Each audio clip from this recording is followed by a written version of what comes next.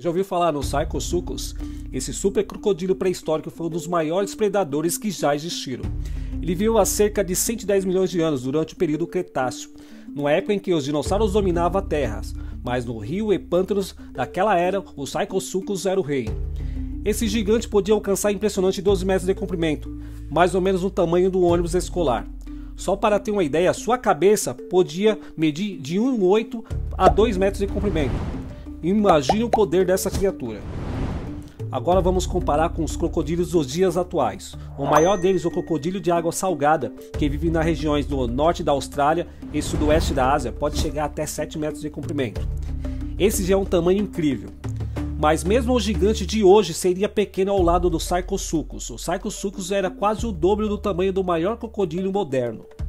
Além disso, a força da mordida do Psychosuchus era devastadora. Com a sua enorme mandíbula, ele era capaz de caçar grandes presas, incluindo dinossauros que chegavam perto do rio e lagos. Ele era verdadeiramente uma máquina de caça, adaptado para dominar as águas pré-históricas. Enquanto os crocodilos atuais são impressionantes tanto pela sua força quanto pelo seu tamanho, o Psychosuchus era um verdadeiro monstro dos rios. Ele representa a ápice dos crocodilos pré-históricos, mostrando que, mesmo em tempos antigos, a natureza já produzia criaturas colossais.